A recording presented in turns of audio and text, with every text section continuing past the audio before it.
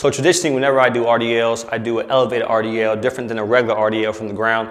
I'm gonna show you why.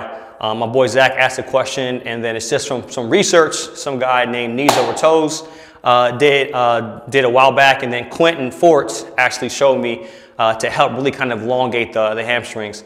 I'm gonna show you a normal RDL of how I do it right here. So whenever I do a normal RDL, um, if you look at the range of motion here, Watch this. Look at the range of motion. I'm up. Look how far down I'm going. Right? So that's my normal motion. That's all far how far I'm going.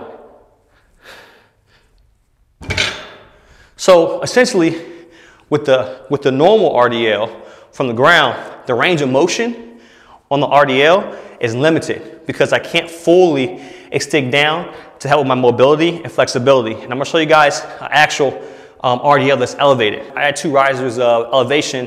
I'm gonna show you the difference between the range of motion I get with this elevated RDL, RDL versus um, from the ground. So when I go here, first I'm kind of already extended. I'm already, I'm already extended.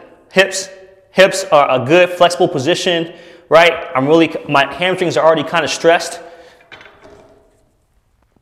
Sounds more difficult, that is. But the range of motion, a lot longer than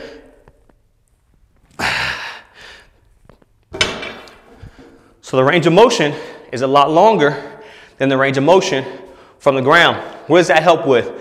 That help with that helps with long, making the hamstring longer. Lengthening the hamstring helps injury prevention, especially when it comes to explosion. It helps with explosiveness, helps with durability, helps with muscle endurance, helps build the hamstring. A longer hamstring can also can mean a larger hamstring. So elevating your RDLs really allows you to be uh, more in tune as an athlete, more flexible, uh, stronger, explosive, whatever you're trying to attack. So if you're doing RDLs, add a little elevation to them, I promise you it'll be worth it.